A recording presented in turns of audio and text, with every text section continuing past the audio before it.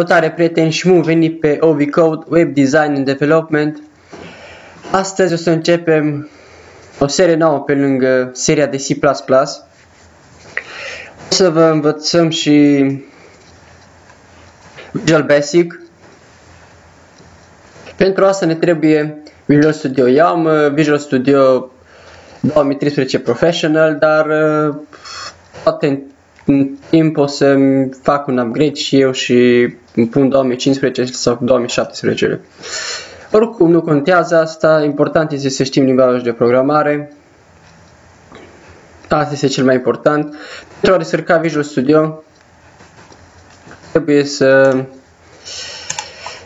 mergeți pe site-ul lor de la Microsoft, de la Visual Studio și scriem Visual Studio Și avem aici Visual Studio Developer Tools and Service Microsoft IDE. Dăm aici, dăm la Downloads. Avem uh, Visual Studio Community pe care vi-l recomand. Asta e 2015 și avem și aici Visual Studio 2017, după cum spuneam și eu, poate o să-mi fac un upgrade. Și putem să le descărcăm de aici. Ah, no, thanks. Și după ce vă descărcați Visual Studio, după cum bine, bine vedeți, s-a descărcat deja. Îl instalați și vă apucați de treabă. Bun, hai să începem noi să facem prima aplicație în uh, Visual Basic. Pentru asta uh, dăm la File new project.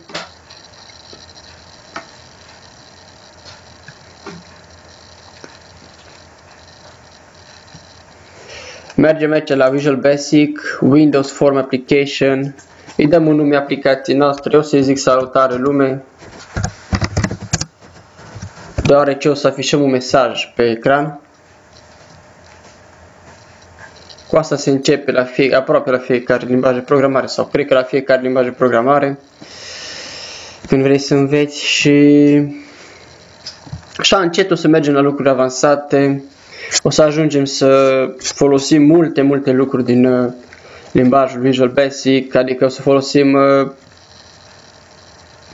acele obiecte, să le spun așa, din uh, Toolbox După cum bine vedeți, acest toolbox are butoane, are multe, multe, multe altele pe care le putem folosi, bineînțeles.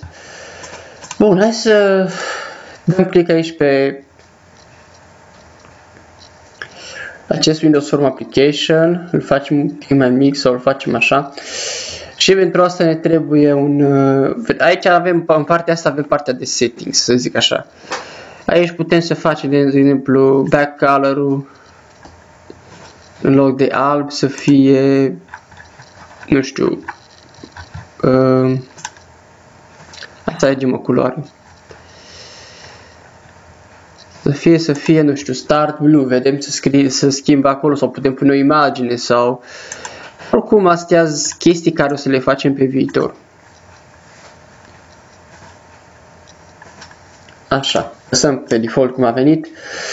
Dăm la toolbox și pentru asta, asta ne trebuie un buton. Dăm un click pe buton, îl punem aici. Minimizăm, opa, cancel. Minimizăm toolbox-ul. Uh, așezăm asta aici așa. Facem butonul mai mare. Și o să-i dăm un nume la buton. Mergem la secțiunea de text aici, ștergem și dăm un nume. De exemplu, a pasă mă, dacă vreți în română. Așa, sau dacă nu, pune, puteți să puneți click me. Sună mai, uh, mai uh, frumos în engleză. Așa. Acum vom da dublu click pe acest buton și o să ne apară partea de coding. Aici așa o să scriem noi codul. unde să ne afișeze un mesaj pe ecran când apăsăm pe, buton, pe butonul nostru. Bun, cum facem asta? Scriem message box și că va apare deja aici, dați mă apăsați în jos, apăsați pe tasta tab și deja vi l-a selectat. Punct show între paranteze rotunde și între ghilimele scriem Salutare lume. Punem niște din astea. Dăm un start pentru a compila. Și după cum vedeți ne-a apărut fereastra asta de aici. Și dacă dăm aici click me apare salutare lume. Ok hai să mai facem altceva. Hai să dăm o virgulă aici după ghilimele. Așa. Uh, message. Nu, uh, pardon. Trebuie între ghilimele. Message. Title, dacă nu mă înșel, ar trebui să apară un mesaj uh, aici, dar nu apare, adică ba da apare, aici așa apare un message title, adică am pus uh, un titlu la acest, la această căsuță, să zic așa. Ok, click me, din nou, iar apare, dăm click me, iar apare mesajul nostru. Deci v-ați prins ideea. Ca să vă afișeze un mesaj pe ecran, ce ar trebui să facem? Da, avem un buton în care am executat, aici am dat ordin cu un cod să apară un mesaj pe ecran când apăsăm pe acel buton. Deci, aici messagebox.show arată, arată mesajul și ceea ce am scris noi între ghilimele pot să ne arate acolo.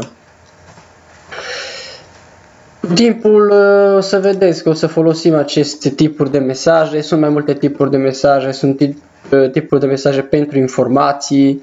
De exemplu, nu știu, vrem să facem o aplicație de logare, putem să punem un mesaj că logarea a fost făcută cu te loghezi în nu știu, te loghezi într-un program, nu știu, faci un chat, ceva de genul. Și să pui acolo un mesaj că logarea a fost reușită sau logare reușită uh, sau dacă nu s-a putut uh, loga, că a introdus greșit mail sau, par- sau parolă, punem un mesaj care să apară atunci când a fost introdus uh, greșit mailul și parola.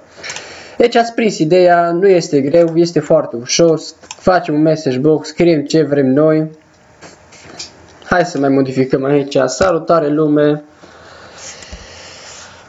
bun venit la OviCode, punem și un punct să arate mai frumos, dăm un start, dăm un click me și vedem că fereastra s-a făcut mai mare. Deci în funcție de cât mesajul nostru e de mare, fereastra atâta se face de mare. Salutare lume, bun venit la OviCode. Perfect. Să zic, frumos și simplu, foarte, foarte simplu de început. Dragi prieteni, acesta a fost tutorialul de astăzi. Dacă v-a plăcut, nu, lăsați, nu uitați să lăsați un like, share și subscribe. O să ne vedem la un următor episod, poate cu C++, poate cu Visual Basic, o să vedem. Până atunci, bye bye!